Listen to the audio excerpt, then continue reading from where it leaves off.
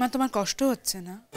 আমি বুঝতে পারছি, তোমার খুব কষ্ট হচ্ছে আর কষ্ট হওয়ার কারণও রয়েছে।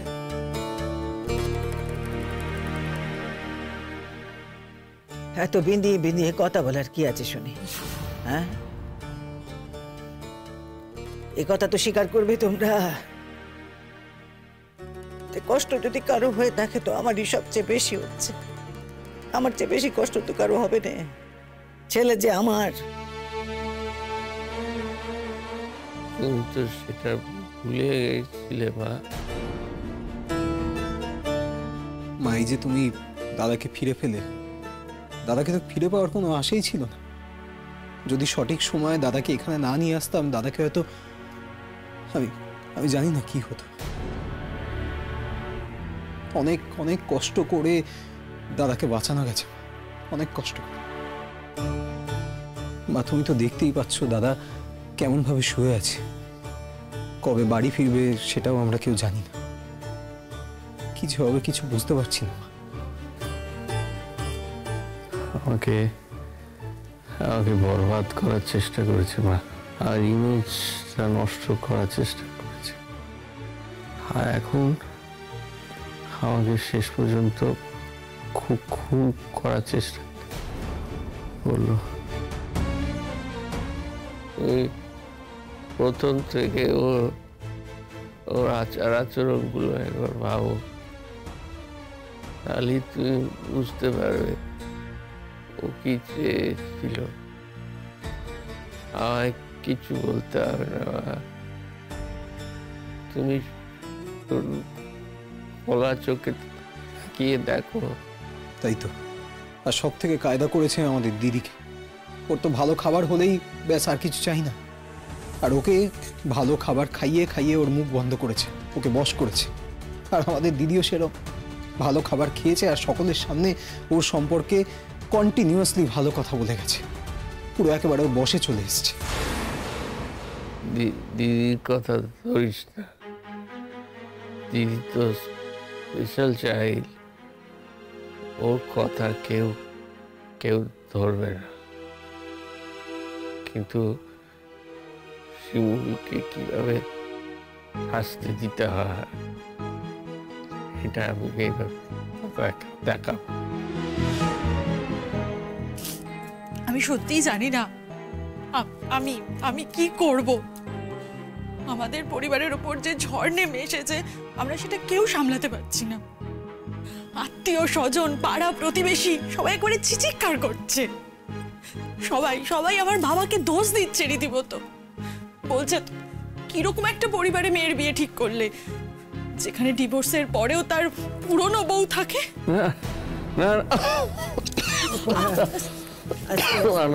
প্রিয়াঙ্কা।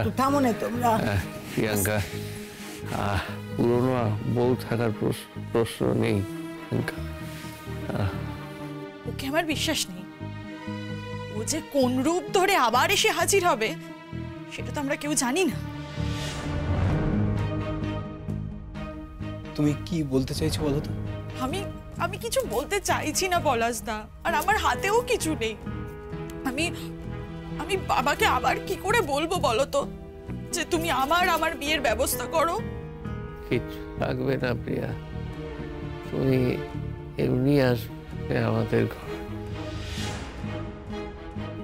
না না না দাদা ভাই সেটা বলে তো হবে না। প্রতিটা মেয়ের জীবনে একটা স্বপ্ন থাকে বিয়ে নিয়ে। তাছাড়া ও কেন বিয়ের ভাগ থেকে বাদ পড়বে তুমি আমাকে বলো। আর একটা কথা বলি তুমি না আগে সুস্থ হয়ে নাও বুঝলে তো? এগুলো এখন ভাবার সময়ও নয়। তুমি আগে ভালো হয়ে নাও তারপরে এই বিষয়ে ভাবা যাবে। প্রতীক্ষা বলো দাদা ভাই। দেখো ও যেন কিছুতেই ছাড়া পায় কি বলছিস? আমরা দেখব মানে তুইও তো দেখবি। এখন তো তোর কথারই সব থেকে বেশি দাম। ভালো ভালো উকিল রাখতে হবে। সেই উকিলের তো আবার অনেক পয়সা লাগবে।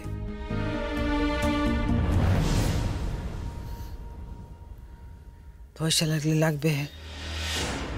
ওই মেয়ে যে পয়সা আমাদের জন্য রেখেছে, তার আমাদের দরকার নেই। যেমন করে পারব আমি চালিয়ে নেব। কারও উপকার দরকার নেই, আমার কারও উপকার আর দরকার নেই। তোমাকে তো ওইভাবে ভুলিয়েছে মা। বুঝতে পারোনি তোমার আস্থা অর্জন করল। আমার আস্থা অর্জন করল। এখন আমার যা কিছু আছে সব সাফ করে ওয়াশ করে দেবে বিয়েটা দিল না তো। বিয়ের দিনই এইটা করল। আসলে ও ওইটা চাইছিল না। সব অধিকার প্রি- প্রিয়া পেয়ে যাক। এটা সহ্য করতে পারছিল না আমার এই জন্যেই এটা করল। তুমি বুঝতে পারছ চাইনি জানতে আমি। এত ক্ষুদ্র কোনো জিনিস আমি জানতে চাই না এত ছোট কোনো ব্যাপারে আমি আমার মাথা গলাতে চাইনি আর। কোন স্ত্রী যে তার স্বামীরে মেরে ফেলতে চাইতে পারে আমি স্বপ্নেও কল্পনা করতে পারি।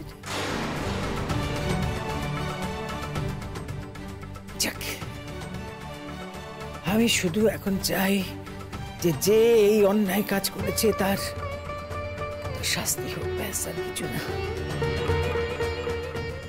হলো তোর দাদার যে টাকা পয়সা সে আমাদের দিয়েছে, সে সব আমি ফিরিয়ে দেবো। আমি জানি তুমি আবার এরকম মানাও তোমাকে তোমাকে ভুল বোঝানো হয়েছিল। তাই তুমি এরকম হয়ে গেছো।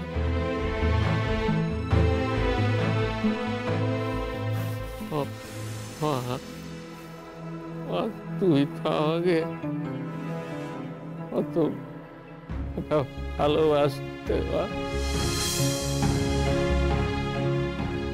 মা, বাবা চলে যাওয়ার পরে আমি তো তোমার কাছে দা- দা- দাঁড়িয়ে ছিলাম, মা। তুমি একবার মনে করার চেষ্টা করো, মা।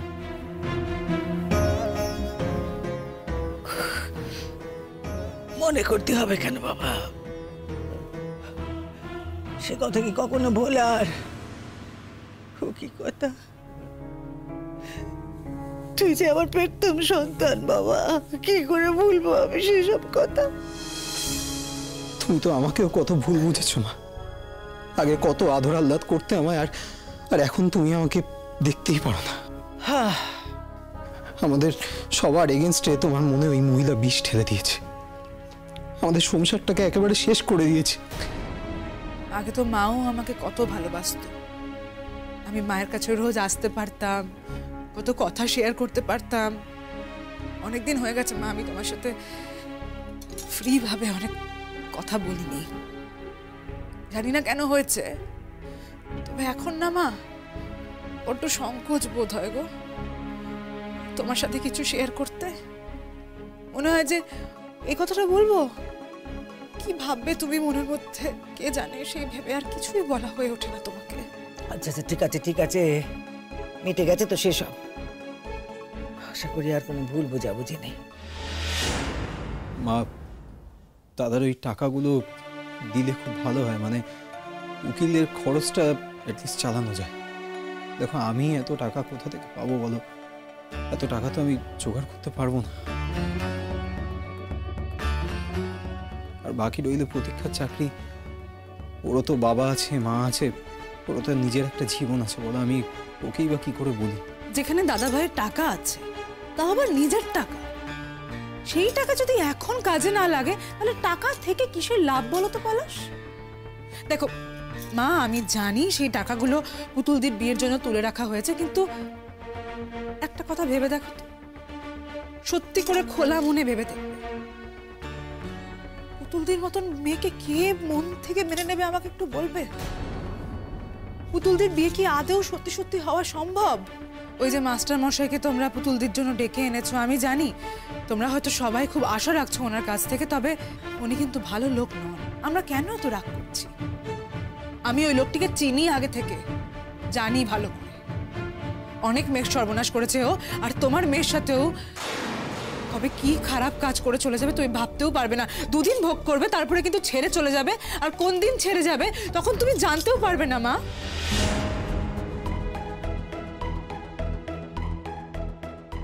আমি চুপ করেছিলাম এই ভয়ে, কারণ কারণ আমি জানি যে এটা আমার শ্বশুর বাড়ি হাজার হোক, হাজার সমাজ এগিয়ে যাক, তাও যদি কোনো ছেলে একটা মেয়ের সম্পর্কে একটা বাজে কথা বলে না, তাহলে মেয়েটারই অপমান হয়।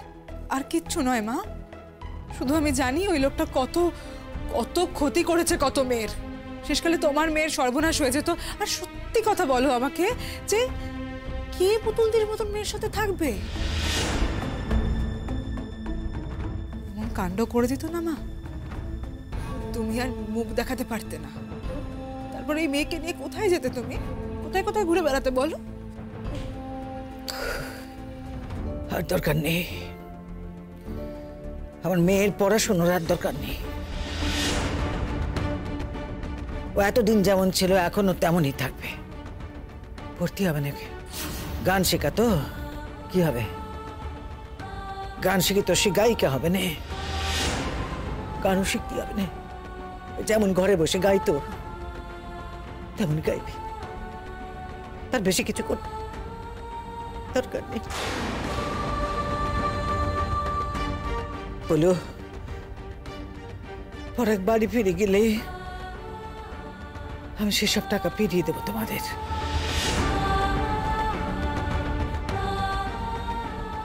আমার ছেলেটার উকিলের ব্যবস্থা যেন হয়, কোনো ত্রুটি যেন না হয়। তার জন্য ভালো উকিল দরকার। ভালো উকিল যেন তৈরি থাকে। হ্যাঁ মা, না মানে টাকা থাকলে আর কিসের চিন্তা বলো? একটা ভালো উকিল রাখা যাবে। তবে আমাদের দেখতে হবে, ভালো উকিল রাখলে যাতে ওই মেয়েটা কোনো ফাঁক ফোকর দেখে আর পালাতে না পারে। তবে এমনিও তো ওর পক্ষে কেউ নেই। আর এই কেসটা বেশি দিন কোর্টে টিকবে বলেও মনে হয় না। ওই যতক্ষণ কেসটা কোর্টে উঠছে সেইটুকু সময় মাত্র।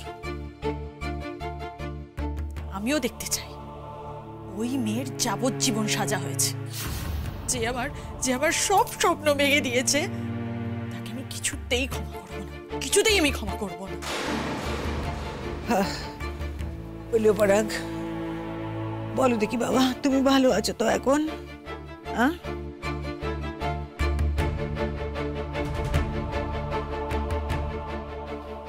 মা, দেখো, এই যাত্রায় তো দাদা বেঁচে ফিরল। কিন্তু দাদার শরীরের যা ক্ষতি হয়েছে, যা ড্যামেজ হয়েছে, দাদার কিন্তু খুব ভালো করে খাওয়া দাওয়াটা দরকার। খুব ভালো করে খাওয়া দাওয়াটা দরকার, নাহলে দাদা কিন্তু রিকভার করতে পারবে না। এই কথাটা আমি তোমাকে বারবার বলছি। ওর শরীরটা কিন্তু ভীষণ উইক ব্যবস্থা হবে গো। ছেলেটাকে বাড়ি ফিরে যাক, আমি আমি নিজে হাতে রান্না করে ওকে খাওয়াবো, আমি ওকে সুস্থ করে তুলবো। খেয়াল রাখব আমি ওর। উফ, বাঁচালে মা। ভাবো, আমি কি রান্না করতে পারি? আমি খেতেও পারি না ভালো করে, তোমরা আলাদা করে দিয়েছিলে বলে। ব্যাস, এবার থেকে তুমি রান্না করে খাওয়াবে, আমার আর কোনো চিন্তা রইল না। আমি তো তোমার মেয়েরই মতো, মা, বলো। চেয়েছিল তো। সবাইকে নিয়েই তো সংসার করতে চেয়েছিলাম এমন করে বোঝালে আমায় যে আমি আর তোদের কারোর দিকে সব তুলে তাকাতে পারতাম না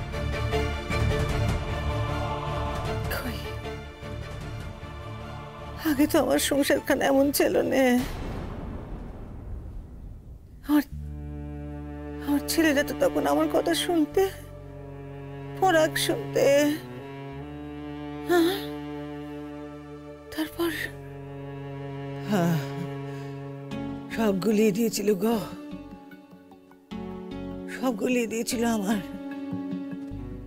ভুল বুঝিয়েছিল আমাকে।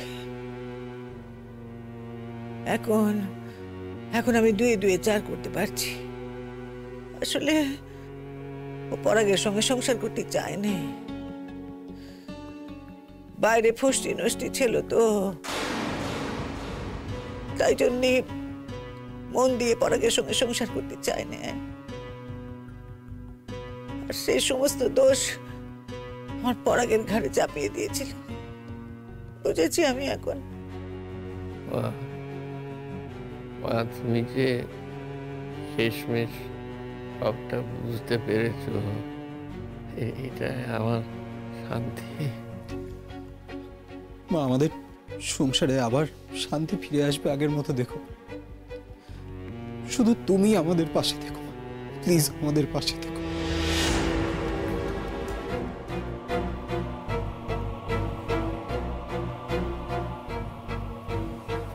পাশেই তো আছি রে বাবা। আমি তো পাশেই আছি। শুধু বললুম নে, একটা উকিল ভালো দেখো। একটা ভালো উকিল দেখতে হবে তো।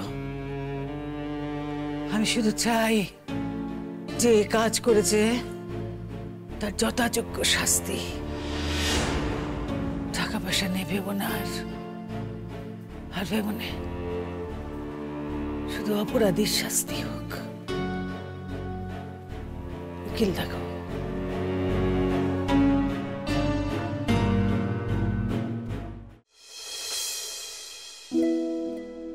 কি যেন নামটা বলেছিল গো? সঞ্জীব সেন। হ্যাঁ হ্যাঁ। কোথায় খুঁজবো এখানে? জিজ্ঞেস করব একবার দাঁড়াও আমি একবার ওনাদের জিজ্ঞেস করছি। হ্যাঁ আচ্ছা সঞ্জীব সেন এখানে আছেন? মানে উনি কোথায় বসেন? সঞ্জীব বাবু কি চাই বলুন না? কি কেস? বধূ নির্যাতন? আমাদের বলতে পারেন আমরা সলভ করে দেবো। না না আমাদের ওনার সঙ্গেই দরকার আছে। একটু বলুন না প্লিজ কোথায় বসেন উনি? দেখুন সঞ্জীব বাবু কোথায় আছেন বলতে পারব না তবে আমাদের ভরসা করে বলতে পারেন আমরা সব কেস করি। আরে বাবা যদি আপনাদের দরকার হতো তাহলে আপনাদেরই খুঁজতাম। দরকার আমাদের সঞ্জীব সেনের সঙ্গে। কোথায় বসেন একটু বলে দিন তাহলে উপকার হয়। খুঁজে নিন তাহলে। কে কোথায় আছে তাকে খুঁজে দেওয়ার দায়িত্ব তো আমাদের নয়। কি অদ্ভুত। এইটুকু হেল্প করতে পারেন না আপনারা কোট চত্বরে? চলো। তো বাদ দাও দরকার নেই আমরা খুঁজে নেব। বিপাশাদি বাবা তুমি এখানে কি ব্যাপার? হ্যাঁ আসলে কাগজে খবরটা বেরিয়েছে। আমি তোমাদের বাড়ি গেছিলাম তোমার হাজবেন্ড বললেন যে তোমরা কোর্টে এসছো। সেই জন্য ফোন টোন না করেই ডিরেক্ট এখানে চলে এসেছি। তা কি খবর? যেটা শুনেছো সেটাই খবর। তুমি আবার আসতে গেলে কেন শতদ্রু? তোমার তো সামনে বিয়ে। এত ব্যস্ততার মধ্যেও তুমি যে সময় বার করতে পেরেছ, এটাই তো ভেবে অবাক লাগছে।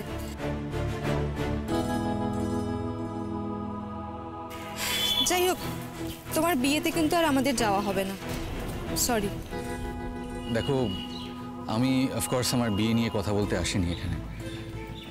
দেখো, শিমুল যে কিছু করেনি সেটা আমিও খুব ভালো করে জানি, আর তোমরাও অফকোর্স খুব ভালো করে জানো। আর সেই জন্যই তোমরা ভালো একজন লয়ার খুঁজতে এসছো। আর সেই সূত্রেই বলি, আমার খুব ভালো একজন লয়ার চেনা আছে। আমি চাইলে ওনার সাথে তোমাদের আলাপ করিয়ে দিতে পারি।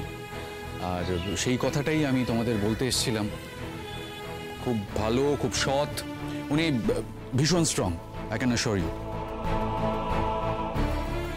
in fact শুধুমাত্র টাকা পয়সার জন্য কিন্তু উনি কেস লড়েন না। তা তুমি হঠাৎ আজকে এগিয়ে এলে সাহায্য করবে বলে? না তোমার ওয়াইফ তো শর্ত দিয়ে রেখেছে না আগাম আচ্ছা এইসব কথা তুমি এখন কেন বলছো বলো তুমি প্রসাদী ও তো এখনো আমার ওয়াইফ হয়নি সুতরাং ইটস ইটস ওকে এখনো হয়নি কিন্তু হবে তো তার তো আপত্তি থাকতে পারে যে তুমি শিমুলের বিষয়ে এত মাথা ঘামাচ্ছ तुमको पता है ना शतद्र शिमू जेल में আছে अगर তুমি ওর জন্য कुछ भी করবে তো তোমার মা फिर से रिएक्ट করতে পারে এখন দেখছি সমস্ত দোষ সেই আমারই। বালাই ষাট? কেন? তোমার দোষ হতে যাবে কেন? তুমি তো একদম সঠিক কাজ করেছ, একদম পারফেক্ট কাজ করেছ। তোমার শিমুলের সঙ্গে পোষায়নি? তুমি একটা সময় ছিল যখন শিমুলের কাছে যেতে চেয়েছিলে, শিমুল তোমাকে কাছে যেতে দেয়নি? তুমি নিজে অন্য একটা মেয়ে ঠিক করে বিয়ে করবে ভেবেছো, ভুল তো কিছু নেই? আর মেয়েটি তো ভালো, তোমার মনের মতো। কলেজে পড়ায়, ভালো গান গায় একদম পারফেক্ট কোথাও কোনো অসুবিধা নেই। আর সত্যিই তো। বলো না একটা মেয়ে সে কেনই বা তোমার পাস্টের একটা হ্যাংওভার বয়ে বেড়াবে? তার দায় ওই ওই মেয়েটি কেনই বা নিতে যাবে? আর এখন তো আরোই প্রশ্ন ওঠে না। শিমুল তো এখন জেলে। ওর গায়ে যে জেলের দাগ লেগে গেল শতদ্রু। এখন তুমি শিমুলকে নিয়ে বেরোতেই পারবে না। অসম্ভব। দেখো বিপাশাদি এখন এসব কথা থাক না। আমরা কি চাই? আমরা সকলে চাই একটা নির্দোষ মেয়ে জেল থেকে বেরোক। আর সেটাই আমাদের উদ্দেশ্য আমাদের টার্গেট হওয়া উচিত। আর আর কিছু না হলেও একজন বন্ধু হিসেবে তো আমি ওর পাশে থাকতেই পারি। না পারো না। একদম পারো না। কি করে পারবে? তোমার বউ যে তোমাকে শর্ত দিয়ে রেখেছে শতদ্রু যে কোনোভাবেই তুমি শিমুলের ব্যাপারে নিজেকে জড়াতে পারবে না তাহলে কি করে পারবে বলো? কিন্তু বিপাশাদি বিয়ে তো এখনও হয়নি। হোগা না শতদ্রু। সামনেই হবে। और तो कुछ ही दिन बाकी আছে আজকের দিনে দাঁড়িয়ে তো হয়নি আর দেখো এই কথাগুলো আমার মনে হচ্ছে আমার সব থেকে বেশি মনে রাখা উচিত কিন্তু সবটা জেনে শুনে আমি যখন এখানে এসেছি যখন এটাকেই প্রায়োরিটি করেছি তখন আমার মনে হচ্ছে এই কথাগুলো বলার কোনো দরকার নেই আমাদের তোমার কোনো হেল্প লাগবে না আমরা একাই পারবো সঞ্জীব সেন নামে একজন লয়ারের খোঁজ পেয়েছি আমরা ওনাকে খুঁজে নেব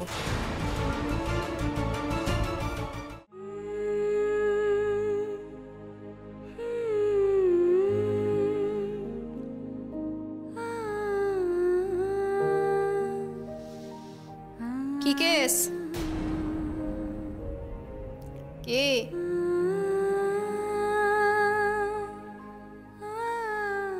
শুনলাম তুমি নাকি তোমার বরকে মেরে ফেলতে চেয়েছিলে? আমিও তাই শুনেছি। ও বাবা এ আবার কি কেতার কথা? তার মানে তুমি বলছো তুমি তা করনি? আচ্ছা আপনারা এখানে যারা আছেন সবাই বুঝি অপরাধের জন্যই শাস্তি পেয়েছেন। বিনা অপরাধে কেউ শাস্তি পাননি? হ্যাঁ আমি তো আমার শাশুড়িকে খুন করিনি। কিন্তু এমন কেস দিয়ে দিয়েছে যে আমি এক এক সময় মনে করি যে সত্যি কি আমি খুনটা করেছিলাম? তোমারও কি সেরকম অবস্থা? আমার কথা শুনে আর কি হবে? ছাড়ুন না বাদ দে বাদ দেবো কেন? তুমি যখন একবার এখানে এসে পড়েছো তাহলে তোমাকে আমাদের সাথেই চলতে হবে।